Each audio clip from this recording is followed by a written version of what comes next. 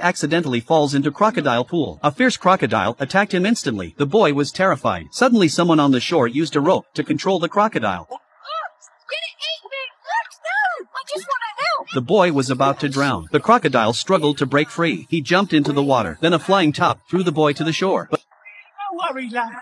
But the boy now thinks the crocodile is going to eat him. Then the boy's father arrives and rescued the boy. And the crocodile was imprisoned for attacking a human being. The blue snake saw the scene and hit the glass as hard as he could. He tried to get out to save the crocodile, but was unable to do so. The crocodile couldn't understand why he had to be sent away after saving the human. It's just after dawn. All the animals in this zoo have to line up. It's time for their daily show. Look at this adorable little scorpion, deliberately flaunting his claws at the audience. And then there's the purple funnel spider. It's mating season for the animals. But the funnel spider is the only one at the zoo. All it can do is pick up a branch and kiss it every day. It's really embarrassing. That's when the keeper suddenly takes off his hat. The,